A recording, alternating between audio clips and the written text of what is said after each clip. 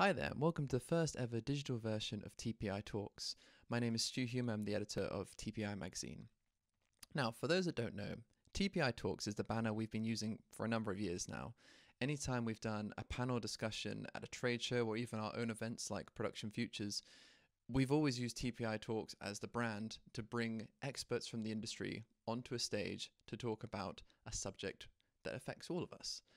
Um, but now that we find ourselves in these makeshift home offices in this time of isolation, we thought we'd try and work on this new project, which was bring TPI Talks into the digital realm. So, for our inaugural episode, we're turning our attention to the world of audio, specifically the term immersive audio. Now, in collaboration with D&B audiotechnik, they came to us with a question saying, how is immersive audio affecting the expectations, or how might it affect the expectations of audience members in the future? And to talk about this, we um, caught up with uh, Steve Jones. And during this conversation, we kind of went through everything that D&B has to offer in terms of the immersive environment, talking about Soundscape and of some of the various projects they've been involved with, specifically the Bjork tour. So yeah, take it away, Steve. Well, hi, Steve. Thanks very much for joining us. Um, just for the people at home, could you just outline who you are and uh, you know your history within D&B? Uh, I am the my role at D&B is education and application support team leader. very long title, but uh, in essence, for the UK and Ireland, I run the team that deliver everything in terms of all of our education and all of the technical needs of of uh, those two markets. I want to kind of get your opinion on immersive audio and when you first came across it as a concept. Yeah, I think the word immersive is the buzz line at the moment, and how people latch onto the word immersive and what it means to them, I think, is very different things. I think if if I'm to be honest, uh, immersive audio has been around for a very long time in one guise or another. Um, we've got people like TiMax, for instance, who have done a, an incredible job over many years of, of delivering tools that allow us to do immersive audio. Um, but then on a more simple basic kind of premise than that, the guys in the theatre world um, are using level and time with sound systems and speaker positioning to create the illusion of of that sparrow voiced TV star that everybody thinks is filling the house with their voice right now when actually no it's the sound system doing it but but they're they're they're paid to give that illusion. And and so I would say to some extent um, particularly in theatre people have been doing immersive audio for a very long time it's just the technology is catching up that makes it quicker and more effective. From your opinion, what kind of projects have been kind of the standouts in the last couple of years that have utilized this technology and been brought into that creative process? Talking about in some ways is a show called Come From Away because in in immersive terms, everybody thinks immersive and you think things flying around your head and surround sound, things going on. But with with Come From Away, there's no surround sound speakers. It's all on on the front of the pros. But I'd say in that show more than a huge amount of other shows, I've been absolutely immersed in the story. What the sound system did was take away any barrier between me and the performers on the stage, and everything I saw on the stage, I connected with visually, aurally, emotionally. I felt immersed in the story and what, what was going on in front of me. So I was immersed despite the fact there was no surround sound. I'd like to think immersive doesn't necessarily mean you're sat in the middle of a load of stuff. It means means I'm sat in the story. I'm emotionally connected. I'm um, there's no barrier in any way between me and and the the storyteller's communication, if you like.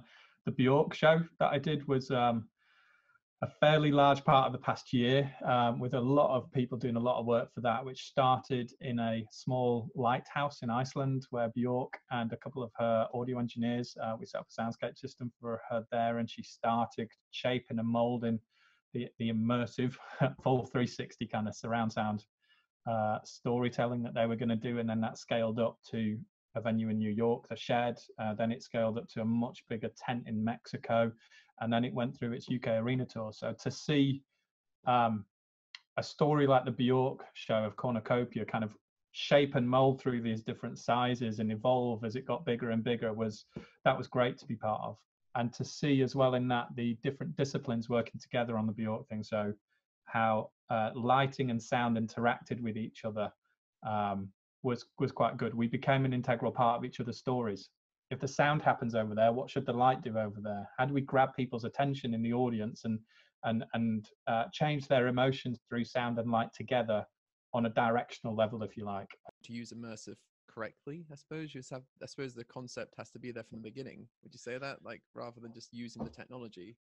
Personally, and at D&B, we truly believe it is part of the future of audio. We've got a lot of obstacles to get over and things yet, but um, uh, I could say if, or I could say when audio, uh, immersive audio does become the staple part of the diet, if you like.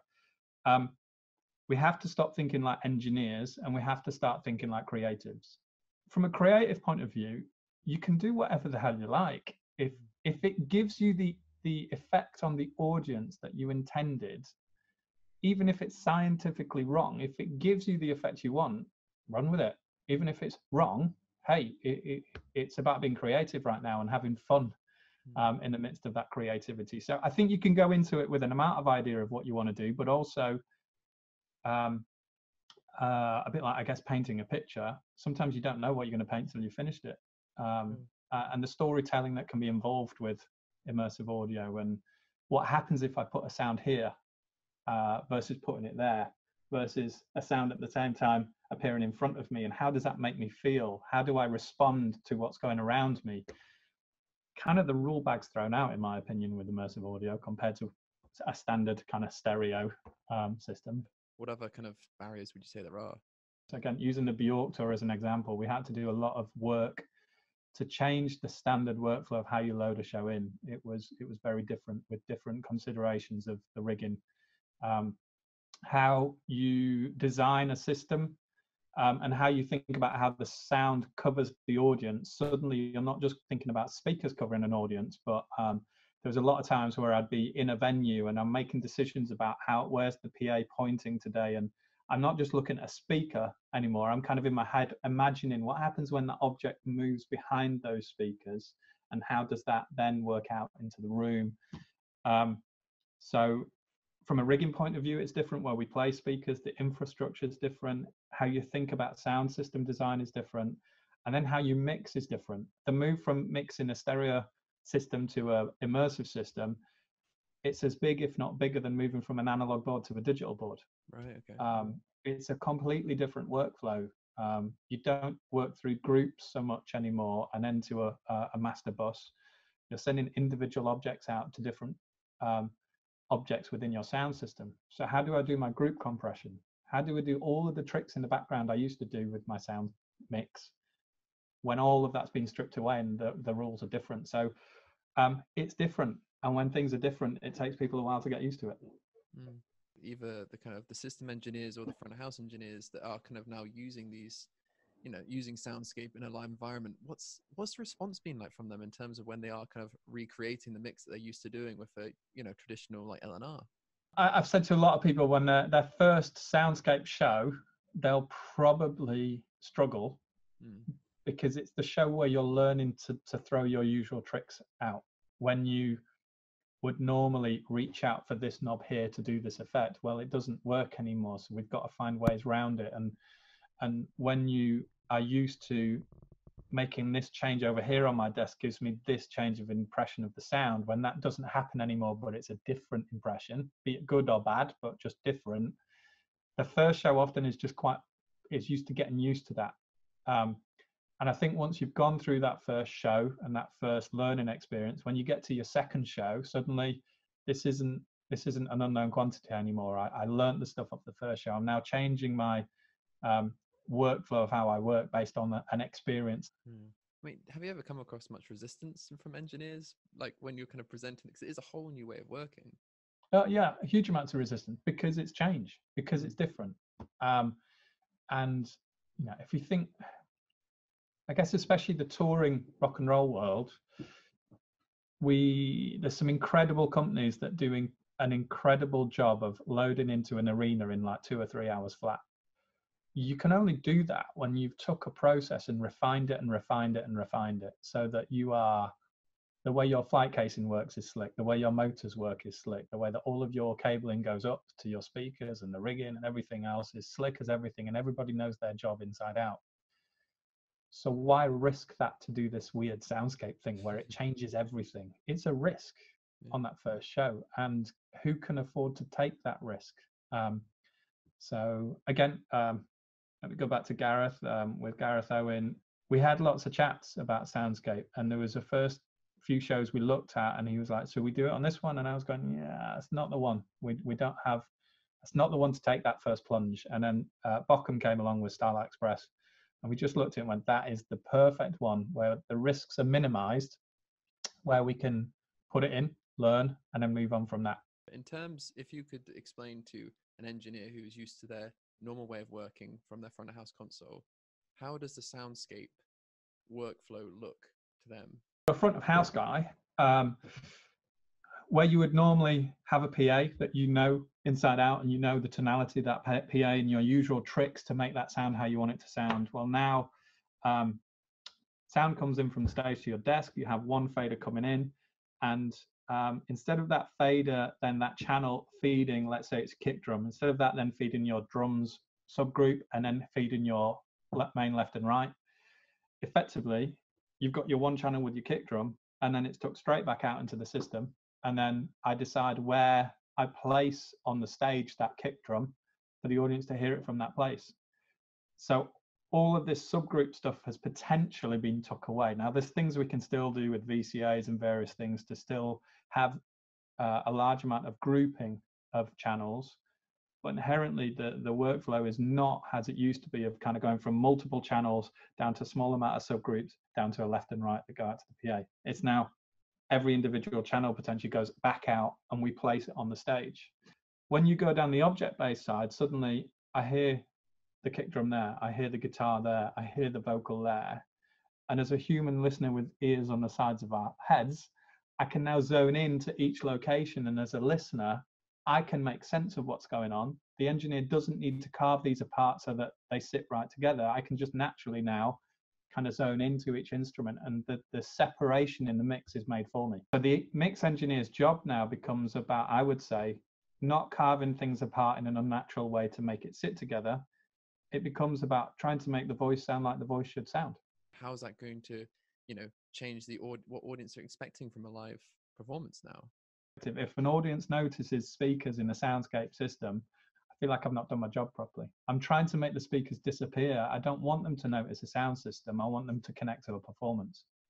Um, so, uh, but that hasn't changed because I'd still say pre-immersive audio we didn't want this, the audience to notice speakers. We wanted them to connect to a show. Um, we did uh, Nitin Sawhney at the Albert Hall with Soundscape. What was interesting at that was how the audience talked about the show from an audio perspective. It, it wasn't talking about um, the kick drum sounded great, the vocals sounded clear. It was, wow, I was emotionally moved by how those vocals were singing at that moment. People talk from a much more emotional connection to the music as opposed to this engineering. The kick drum sounded good, the guitar sounded amazing. Oh no, I was moved by this singer. I was moved by this harp player doing this thing. And I think that's the beauty of audiences should expect to be emotionally moved more. The WOMAD Festival last year, uh, there was a, a D&B tent with Soundscape on it.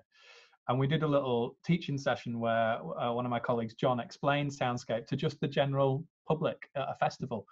And some of the guys that were in that came back to john at a later time that day and said you're right. I went to hear this stage over here and all the sound just came from the speaker at the side. And it was like this new revelation to the audience that what they were hearing didn't line up with what they were seeing so I think without a doubt we'll we'll educate audiences better, and they should be more emotionally attached to what's going on, and they, they the storytelling element should should be felt and heard and experienced by our audiences much much more. I would have thought with immersive audio.